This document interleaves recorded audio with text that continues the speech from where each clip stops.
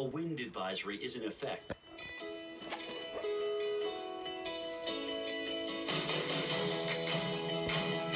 Currently in our area, 48 degrees under sunny skies.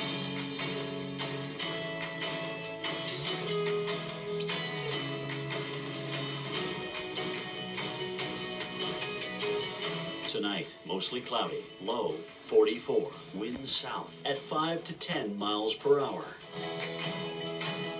Monday, windy with showers and thunderstorms likely, high 63, rainfall possibly over 1 inch.